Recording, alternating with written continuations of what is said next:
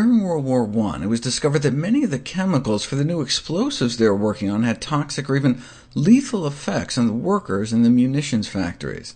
Chemicals such as dinitrophenol, or DNP, boost metabolism so much workers were found somewhere along the road after work covered in sweat, with a temperature of 106 degrees Fahrenheit, or even 109 before they die, and then even after death their temperatures keep going up like a total body meltdown.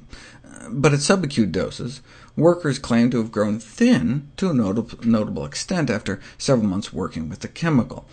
That got some Stanford pharmacologists excited about the promising metabolic applications of DNP. One dose, and our resting metabolic rate jumps up 30%, an actual fat-burning drug.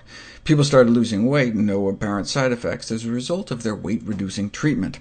On the contrary, they felt great, until thousands of people started going blind, and users started dropping dead from hyperpyrexia, fatal fever, from the heat created by the burning fat.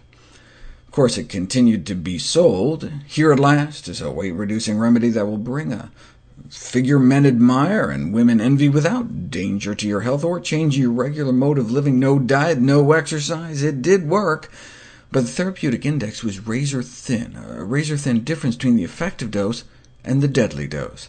It was not until thousands suffered irreversible harm that it got pulled from the market, till, of course, it was brought back by the Internet for those dying to be thin. There is a way our body naturally burns fat to create heat, though. When we're born, we go from a nice tropical 98.6 in our mother's womb straight to room temperature, and we're all wet and slimy. Uh, this represents a challenge for thermoregulation, for maintaining our warm body temperature. As an adaptive mechanism, the appearance of a unique organ around 150 million years ago allowed mammals to maintain our high body temperatures. That unique organ is called brown adipose tissue, or BAT, whose role is to consume fat calories by generating heat in response to cold exposure. Uh, the white fat in our bellies stores fat, but the brown fat, uh, located up between our shoulder blades, burns fat. It's essential for the thermogenesis, the creation of heat in newborns, but is considered kind of um, unnecessary in adults, has been considered unnecessary, who have you know, higher metabolic rates and increased muscle mass for shivering to warm us up if we ever get cold. So we used to think it was just, just kind of shrank away when we grew up. But if it was there, then it could potentially make a big difference for how many calories we burn every day, but supposedly we outgrew it. But when PET scans were invented to detect metabolically active tissues like cancer, oncologists kept finding hot spots in the neck and shoulder regions that on CT scan turned out to be not cancer, just fat.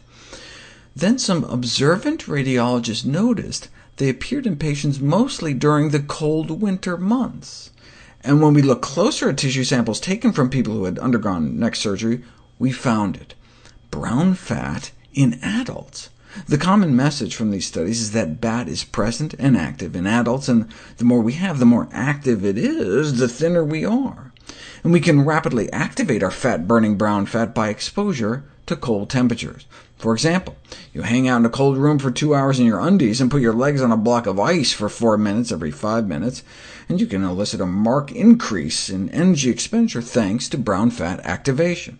So hey, these studies point to a potential natural intervention to stimulate energy expenditure, turn down the heat, and burn calories, and reduce your carbon footprint in the process.